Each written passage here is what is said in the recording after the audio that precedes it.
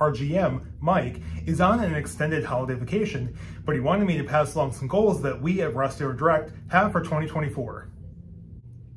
One goal, which I'm sure is universal to many dealerships, is to increase our footprint in the used car market, specifically in Neenah and the surrounding Fox Valley area.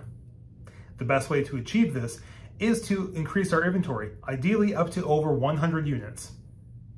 As a result, this would allow us to cater to all sorts of guests and their various needs, including a sales team to fulfill their desire for a quality pre-owned vehicle, and a service team equipped to handle the upkeep of such an important purchase.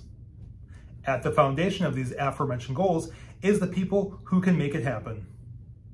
So, another goal is to grow our staff, not just in number, but in commitment and tenacity, so that Dealer Direct is properly equipped to manage, oversee, and assist in the subsequent growth of our business. Lastly, we understand that the community around it is pivotal in the success of a business.